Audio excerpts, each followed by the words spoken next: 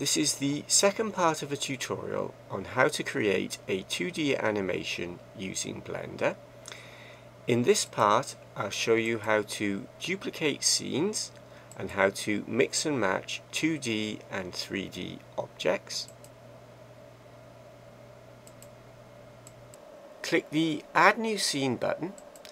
For the new scene type, select Full Copy. Name the new scene to Monkey Man.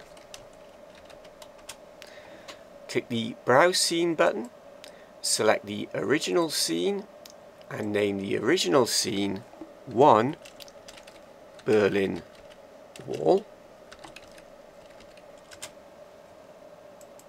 I want the car to drive past a section of the Berlin Wall. I have a photograph I took of a section of the Berlin Wall and in a free graphics package called paint.net I've erased the background and I've saved in the PNG format which will preserve the transparent pixels. Add mesh plane. Drag on the white diagonal lines to open up a new window. Change the new window to a UV image editor window. Click open Go to the folder where you have your image, select it and open and zoom back with the mouse wheel. Click the plus to open up the properties panel and we see the dimensions of the image. It's 563 pixels wide so I'm going to set the X scale to 0.563 and it's 907 pixels tall so I'm going to set the Y scale to 0.907 now the aspect ratio of the plane is the same as the image. Go into edit mode, mesh, UV unwrap, unwrap. Now the image is mapped to the plane, but if I press F12 to render the scene, we see that we need to set up the material. Press escape, click the material button, click the add new material button, I should name the material, scroll down and tick transparency and set the alpha to 0. Click the texture button, click the add new texture button, click both, scroll down, click the browse image button and select the Berlin image. Scroll down and make sure coordinates are UV and in the influence panel tick alpha now if I press F12 to render the scene, the image is rendered.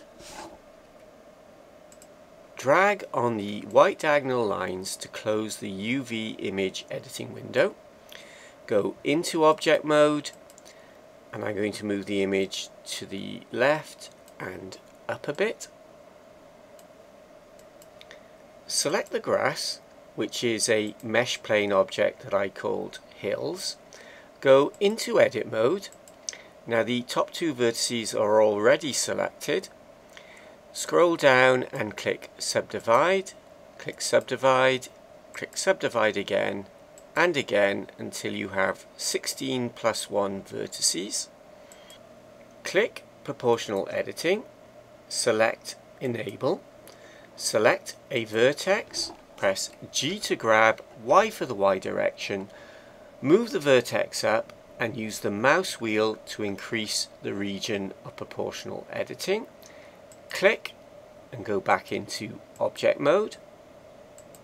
I have finished the Berlin Wall scene. Next I'm going to work on the Monkey Man scene. We are making a 2D animation but there's nothing to stop me appending in a 3D model. File append, go to the folder where you have your model, select it, append. The car is selected, so click the monkey man. I need to rotate him by minus 90 degrees about the x-axis, but I can do that by setting the x rotation to 0. Press S to scale, point 0.2 and enter, and move the monkey man up a bit and to the left a bit.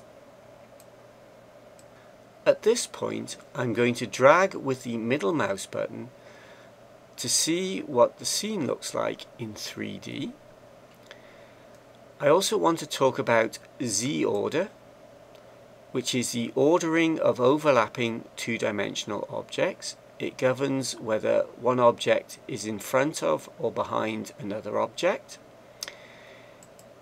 In a 3D package, we can use the Z location for the Z order.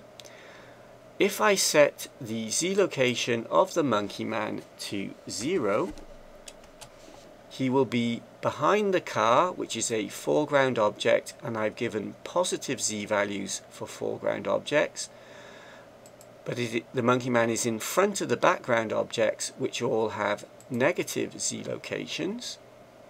Change the view back to the camera view. To render the scenes, choose the scene that you want to render. Click the render button Scroll down and choose a video file format for the output. I usually choose Xvid and choose a folder to save the video file in. Scroll up and click the animation button. The video clips can then be put together with music and sounds using Blender's video editing tools or any other video editing package. The great thing about Blender is that by mixing and matching 2D animation, 3D animation and video, the creative possibilities are endless. That's the end of the tutorial. I'll put the files used in the tutorial and the finished file for you to download at my website www.freemovies.co.uk at the Blender channel there. Thanks for watching and goodbye.